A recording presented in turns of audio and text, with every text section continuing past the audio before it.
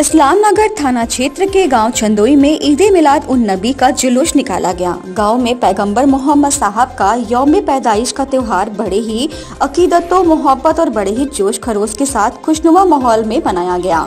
थाना क्षेत्र के गाँव चंदोई में यौम पैदाइश के मौके पर मोहम्मद साहब का जन्मदिन। गाँव चंदोई में 12 रवि उल अव्वल के त्योहार पर जुलूस ए मोहम्मद निकाला गया, जो गाँव के सभी मुख्य मार्गों से होता हुआ पश्चिम मस्जिद पर जुलूस का समापन किया गया। प्रशासन को सतर्कता बरतते हुए भारी पुलिस बल की मौजूदगी में गाँव के मुख्य मार्गों से होते हुए जुलूस निकाला गया। जुलूस ए मोहम्मदी में नबी के आने का पैगाम देती हरी झंडियों के साथ ही तिरंगा भी खूब लहरा रहा था।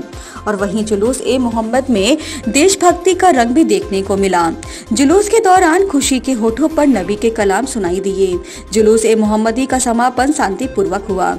इस दौरान सुरक्षा के लिहाज से प्रशासन एवं पुलिस प्रशासन द्वारा सुरक्षा के कड़े इंतज़ाम किए गए।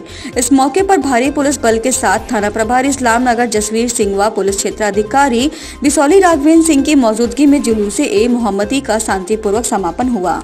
बनो पहले पे हज़रत आपने ये जुलूस निकाला है अभी?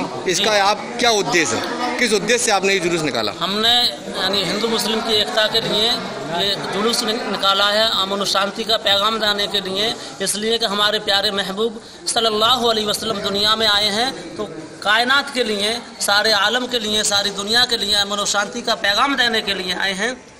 इसलिए हम ये जुलूस मोहम्मदी सल्लल्लाहु अलैहि वसल्लम यानी बारह रबी अव्वल को निकाला करते हैं।